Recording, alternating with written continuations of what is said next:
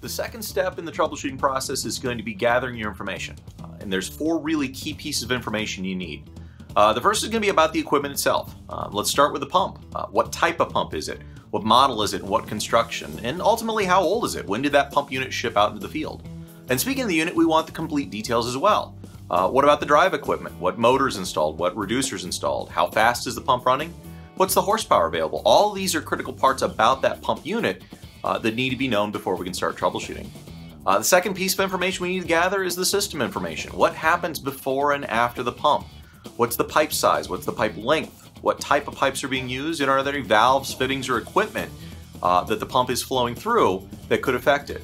Uh, the truth of the matter is, in troubleshooting exercises, 90% of the time the problem lies in this system, and so having good information about the system is key to troubleshooting.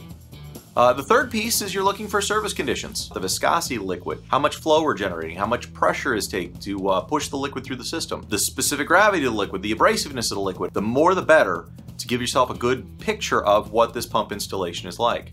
Uh, and the fourth and final piece is uh, service history. Uh, look for is this a new installation? Is this an old installation?